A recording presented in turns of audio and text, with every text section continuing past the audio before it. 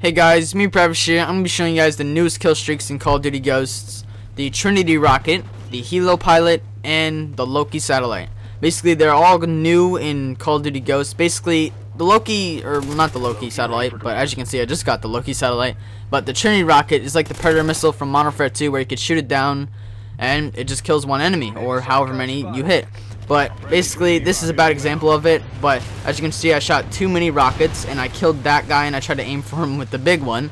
But yeah, it shoots too many rockets, and you can use the big one to go try to kill whoever you want, wherever. But that one's not like um, targeted on anyone like a uh, guided missile or anything. But you just have to control that on your own. But yeah, basically, here's the Helo pilot I just called in.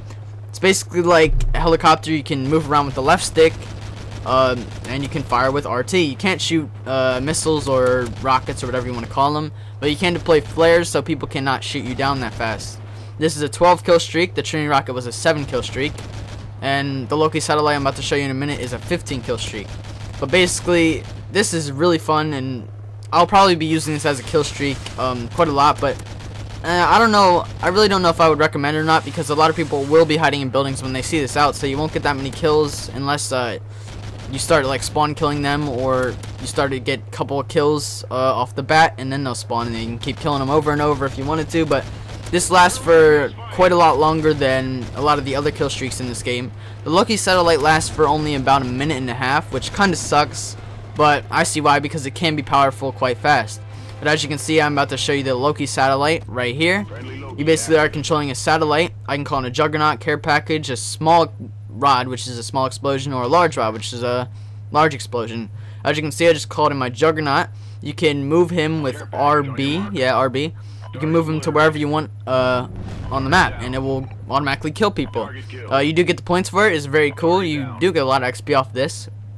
Uh, basically, you can shoot a care package down as I just did for my teammates, and they'll pick it up. But this is a free-for-all, so really no one can pick it up at the moment except for my Juggernaut, even though I don't even know if he can.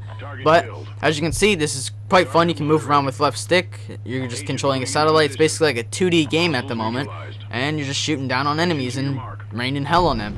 It's quite fun. As you can see, uh, it didn't last that long, but it would last a little bit longer, about 30 seconds longer. Um, but that was the end of the game. I reached max uh, kill limit. But as you can see, uh, my Juggernaut got the last kill. It is quite fun Hopefully you guys enjoyed the new kill streaks in COD Ghost if you do have it. I went 50 and 3. This is a private match, so yeah, I kind of saw that coming. But yeah, uh, hopefully you guys enjoyed the new kill streaks in Call of Duty Ghost. That was all the newest kill streaks that I know of at the moment. But yeah, guys, thank you guys for watching, and I'll see you guys in the next video.